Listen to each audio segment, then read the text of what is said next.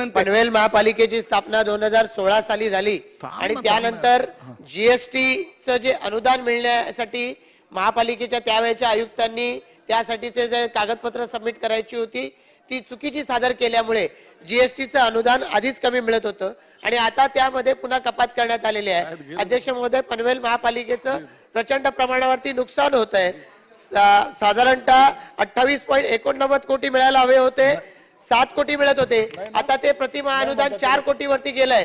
आणि त्यामुळे महापालिकेला प्रचंड अशा आर्थिक संकटाचा सामना करावा लागतोय. अध्यक्ष महोदय शासनानं तातडीनं याच्यामध्ये हस्तक्षेप करून महापालिकेला दिलासा द्यावा. धन्यवाद